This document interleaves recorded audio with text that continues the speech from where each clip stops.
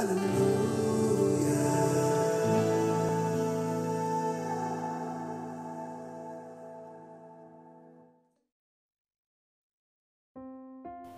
പ്രാർത്ഥിക്കാം. സ്വർഗീയ പിതാവേ ഈ നല്ല സമയത്തിനായി അടികൾ നിന്നെ സ്തുതിക്കുകയാണ് സ്തോത്രം ചെയ്യുകയാണ്. തിരുവചനത്തെ സംബന്ധിച്ച് അല്പമായി ചിന്തിക്കുവാൻ നീ അടിങ്ങൾക്ക് ഒരവസരം കൂടെ തന്ന വൻകുറിയോ സ്തോത്രം ചെയ്യുന്നു. അടിയനെ ശ്രമിക്കുന്ന എല്ലാ പ്രിയപ്പെട്ടവരെയും കൃപാകടാഷ്ടത്തിൽ പൊതുവി സൂക്ഷിക്കണമെന്ന് പ്രിയപുത്രന്റെ നാമത്താൽ ഇവിടെ അപേക്ഷിക്കുമ്പോൾ കൃപീട് കേൾക്കണമേ ആമേ എന്നെ ശ്രമിക്കുന്ന എല്ലാ പ്രിയപ്പെട്ടവർക്കും കർത്തൃനാമത്തിൽ സ്നേഹവന്ദനങ്ങൾ അറിയിക്കുകയാണ്. കഴിഞ്ഞ കുറേ ആഴ്ചകളായി തിരുവനന്തപുരത്ത് എങ്ങനെ വ്യാഖ്യാനിക്കണം എന്നതിനെ സംബന്ധിച്ചുള്ള ചിന്തയിലായിരുന്നല്ലോ നാം. അതിന്റെ തുടർച്ചയായി പത്താമത്തെ ആഴ്ചയിലേക്ക് നാം കടന്നു വന്നിരിക്കുകയാണ്. ഇന്ന് നമ്മുടെ ചിന്ത ചരിത്രപരമായി ബൈബിൾ എന്നുള്ളതാണ്. ചരിത്രപരമായി ബൈബിൾ. ആമുഖമായി നമുക്ക് പുറപ്പാടിന്റെ പുസ്തകം ഇരുപതാം അധ്യായത്തിന്റെ രണ്ടാം വാക്യം വായിക്കാം. അടിമ വീടായ മിശ്രയമിൽ നിന്ന് നിന്നെ കൊണ്ടുവന്ന യഹോവയായ ഞാൻ നിന്റെ ദൈവമാകുന്നു. അടിമ വീടായ മിശ്രയമിൽ നിന്ന് നിന്നെ കൊണ്ടുവന്ന യഹോവയായ ഞാൻ നിന്റെ ദൈവമാകുന്നു. ചരിത്രത്തിൽ വ്യക്തിപരമായി പ്രവർത്തിക്കുന്ന ദൈവത്തിന്റെ അസ്തിത്വം വളരെ വാസ്തവമായി ബൈബിൾ അംഗീകരിക്കുകയാണ്. ഉദാഹരണത്തിന് ദൈവത്തിന്റെ വചനത്താൽ ഭൂമിയിൽ ജീവൻ ഉളവായി. കൽദയരുടെ ഇടയിൽ നിന്ന് അബ്രഹാമിനെ വിളിച്ചു. ഈജിപ്തിന്റെ അടിമത്തത്തിൽ നിന്ന് ദൈവം തന്റെ ജനതയെ വിടുവിച്ചു. ദൈവം സ്വന്തം വിരൽ കൊണ്ട് കൽപ്പലകകളിൽ കൽപ്പനകൾ എഴുതി. ദൈവം തന്റെ ദിവ്യപ്രകാശവും രക്ഷാപദ്ധതിയും മറ്റു ജനങ്ങളുമായി പങ്കുവച്ചു. ആത്യന്തികമായി ദൈവം പുത്രനായ ക്രിസ്തുവിനെ ലോകത്തിലേക്ക് അയച്ചതിലൂടെ ചരിത്രത്തെ രണ്ടായി വിഭജിക്കുന്നതും വിശുദ്ധ ബൈബിൾ നമുക്ക് കാട്ടിത്തരുന്നു. ദാവീദും ശലമോനും രാജവാഴ്ചയും.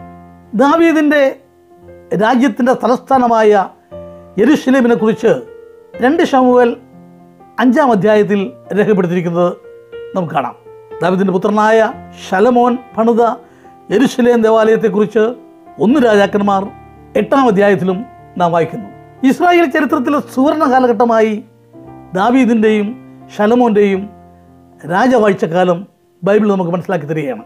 ദാവീദിന്റെ വംശാവലിയിലൂടെ ഒരു മഷിക വാഗ്ദാനം ചെയ്യപ്പെടുന്നതായി ഇരമ്യാ പ്രവചനം ഇരുപത്തിമൂന്നാം അധ്യായത്തിൽ നമുക്ക് വായിക്കാൻ കഴിയും. ഇത്തരത്തിൽ തിരുവെഴുത്തുകൾ ചരിത്രത്തിന്റെ ഒരു നേർചിത്രം നമ്മളെ വരച്ചു കാട്ടുകയാണ്.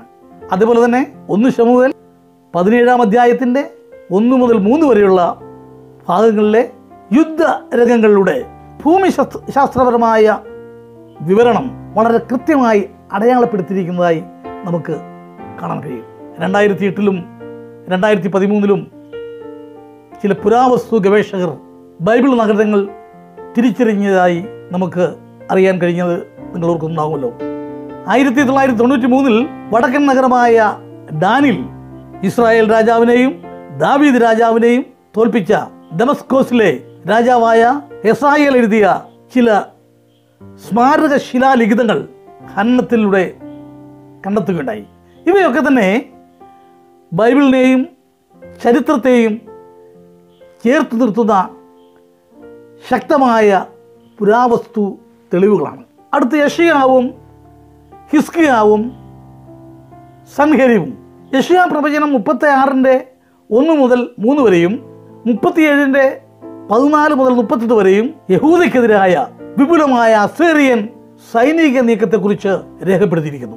ബി സി എഴുന്നൂറ്റി ഒന്നിലാണ് ഈ സൈനിക നീക്കമെന്ന് തിരുവെടുത്ത് രേഖപ്പെടുത്തിയിരിക്കുന്നതായി കാണാം. അവിടെ എരിശലേമിനെ ഉപരോധിക്കപ്പെടുന്നതായി നാം കാണുന്നു. പക്ഷേ ഈ ഉപരോധം ഒരു ദിവസത്തേക്ക് മാത്രമേ നീണ്ടു നിന്നുള്ളൂ എന്നും നമുക്കിവിടെ കാണാൻ കഴിയും. ഒരു ദിവസത്തിന് ശേഷം കർത്താവിന്റെ ദൂതൻ യെരുഷലേമിനെ വിടുവിക്കുകയാണ് ചെയ്തത്. അസിരിയയിലെ രാജാവിനെ കുറിച്ച് യഹോയുടെ അരുളപ്പാട് യഷയ പ്രവചനം മുപ്പത്തിയേഴാം അധ്യായത്തിന്റെ മുപ്പത്തി നാല് മുതൽ മുപ്പത്തഞ്ച് വരെയുള്ള ഭാഗത്ത് നമ്മൾ വായിക്കുന്നു. അവൻ ഈ നഗരത്തിലേക്ക് വരികയില്ല. ഒരു അമ്പും അവിടെ എഴുകയുമില്ല. അതിനു നേരെ പരിചയോടുകൂടെ വരികയില്ല. അതിനെതിരെ വാട കോരുകയുമില്ല അവൻ വന്ന വഴിക്ക് തന്നെ മടങ്ങിപ്പോവും. ഈ നഗരത്തിലേക്ക് വരികയില്ല. എന്റെ നിമിത്തം എന്റെ ദാസനായ ദാവീദിന്റെ നിമിത്തവും ഞാൻ ഈ നഗരത്തെ പാലിച്ച് രക്ഷിക്കും എന്ന് നമുക്കിവിടെ കാണാൻ കഴിയും. ഓർക്കുക ഇത് ബി സി എഴുന്നൂറ്റി ഒന്നിലെ ചരിത്രമാണ്.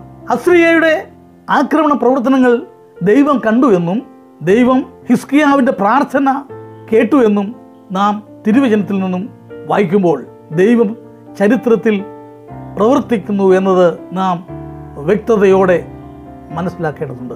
അടുത്തത് ദാനിയേലും നെബുക്കനൈസറും ബാബിലോണും. ദാനിയൽ പ്രവചനം ഒന്നാം അധ്യായത്തിലും അഞ്ചാമത്തെ അധ്യായത്തിലും രേഖപ്പെടുത്തിയിരിക്കുന്ന ചരിത്രത്തിൽ ദൈവത്തിന്റെ ദാസനും പ്രവാചകനുമായ ദാനിയലിന്റെ ആദ്യകാല തീരുമാനങ്ങളെക്കുറിച്ച് നാം മനസ്സിലാക്കുന്നു. ഭക്ഷണക്രമത്തിലും പ്രാർത്ഥനയിലും ദൈവത്തോട് വിശ്വസ്തനായിരിക്കണമെന്ന് ദാനിയൽ അവന്റെ ഹൃദയത്തിൽ നിരൂപിക്കുന്നതായി നമുക്ക് കാണാൻ കഴിയും. ദാനിയലിന്റെ ഈ നല്ല ശീലങ്ങൾ അവന്റെ ദീർഘായുസിന് കരുത്തു പകരുകയും തൽഫലമായി അവനിലുളവായ ഉയർന്ന ചിന്താഗതിയും വിവേകവും നെബുഖനൈസർ അംഗീകരിക്കുകയും ദാനിയൽ രാജ്യത്തെ ഉന്നത സ്ഥാനത്തേക്ക് ഉയർത്തപ്പെടുന്നതുമായി നാം തിരുവചനത്തിൽ നിന്ന് വായിക്കുന്നു. ഈ ഉയർച്ച പിന്നീട് നെബുഖനൈസർ രാജാവിന്റെ മാനസാന്തരത്തിന് തന്നെ ഇടയാക്കിയതായി നമുക്ക് കാണാൻ കഴിയും. ദാനിയൽ പ്രവചനം ഏഴാം അധ്യായം നാലാം വാക്യത്തിൽ കഴുകിൻ ചിറകുകളുള്ള സിംഹം എന്നാണ് ബാബിലോണിനെ വിശേഷിപ്പിച്ചിരിക്കുന്നത്. വിയന്ന യൂണിവേഴ്സിറ്റിയിലെ ഒരു വിദ്യാർത്ഥി തന്റെ പ്രൊജക്റ്റിന്റെ ഭാഗമായി ബാബിലോൺ രാജാവായ നെബുക്കനേസറിന്റെ കാലത്ത് കല്ലിൽ എഴുതിയ ഒരു ലിഖിതം കണ്ടെത്തി. അതേപോലെ തന്നെ ഒരു വലിയ സിംഹം മനുഷ്യന് നേർക്ക് കുതിച്ചു പായുന്ന ഒരു പ്രതിമയും ഖനനത്തിലൂടെ ലഭ്യമായി. ഇതൊക്കെ തന്നെ ബൈബിൾ ചരിത്രവും പ്രവചന സന്ദേശവും സ്ഥിരീകരിക്കുന്നു എന്നുള്ളതിനുള്ള തെളിവുകളാണ്. ചരിത്രത്തിന്റെ ഭാഗമായ യേശു വിശുദ്ധ മത്തായുടെ സുവിശേഷം ഇരുപത്താറാം അധ്യായത്തിന്റെ അമ്പത്തിയേഴ് മുതൽ അറുപത്തിയേഴ് വരെയുള്ള ഭാഗത്തും വിശുദ്ധ യോഹന്നാന്റെ സുവിശേഷം പതിനൊന്നാം അധ്യായത്തിന്റെ നാൽപ്പത്തഞ്ച് മുതൽ അമ്പത്തി മൂന്ന് വരെയുള്ള ഭാഗത്തും യോഹന്നാന്റെ സുവിശേഷം പതിനെട്ടാം അധ്യായത്തിന്റെ ഇരുപത്തി ഒമ്പത് മുതൽ മുപ്പത്തി ഒന്ന് വരെയുള്ള ഭാഗത്തും നമ്മൾ കയ്യഫാസ് പൊന്തിയോസ് പീലാത്തോസ് എന്നും കാണുന്നു. ആരാണ് കയ്യഫാസും പൊന്തിയോസ് പീലാത്തോസും? അവരെക്കുറിച്ച് നാം ചിന്തിക്കുമ്പോൾ കർത്താവ് യേശു ക്രിസ്തുവിന്റെ മരണവുമായി ഇവരുടെ തീരുമാനങ്ങൾ വളരെ പ്രധാനപ്പെട്ടതായിരുന്നു എന്ന് നമുക്ക് മനസ്സിലാക്കാൻ കഴിയും. കയ്യഫാസ് ആകട്ടെ ഒരു മഹാപുരോഹിതനായിരുന്നു. യേശുവിന്റെ മരണം നടപ്പിലാക്കാൻ കയ്യഫാസ് പീലാത്തോസിനെ പ്രേരിപ്പിക്കുന്നതായി നാം തിരുവചനത്തിൽ നിന്ന് മനസ്സിലാക്കുന്നു. ആയിരത്തി തൊള്ളായിരത്തി തൊണ്ണൂറിൽ എരുശലേമിന് തെക്ക് കണ്ടെത്തിയ ഒരു ശവകുടീരത്തിൽ നിന്നുള്ള നാണയങ്ങളും മൺപാത്രങ്ങളും എ ഡി ഒന്നാം നൂറ്റാണ്ടിന്റെ മധ്യത്തോടെയുള്ളതാണെന്ന് മനസ്സിലാക്കുകയും ഇത് മഹാപുരോഹിതനായ കയ്യഫാസിന്റെ ശവകുടീരമാണ് എന്നും ചില പണ്ഡിതന്മാർ വിശ്വസിക്കുന്നതായി നമുക്കറിയാൻ കഴിഞ്ഞിട്ടുണ്ടല്ലോ. അതുപോലെ തന്നെ ആയിരത്തി തൊള്ളായിരത്തി അറുപത്തി ഒന്നിൽ ടൈബീരിയസ് ചക്രവർത്തിയുടെ കീഴിൽ യഹൂദയുടെ പൊന്തിയോസ് പീല- പീലാത്തോസ് എന്ന പേരിൽ ഒരു ലിഖിതം കണ്ടെത്തിയതും യേശുക്രിസ്തുവിന്റെ മരണത്തെ ചുറ്റിപ്പറ്റിയുള്ള ചില പ്രധാന വ്യക്തികളുടെ ചരിത്രം സ്ഥിരീകരിക്കുകയാണ്.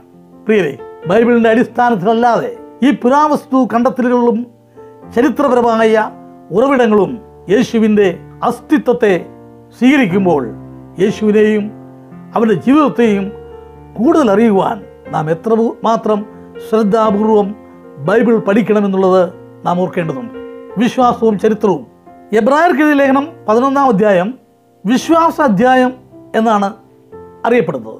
ഇതിൽ പുരാതന വിശ്വാസ വീരന്മാരുടെ സ്വാധീനത്തെ സമഗ്രമായി നാം മനസ്സിലാക്കുന്നു.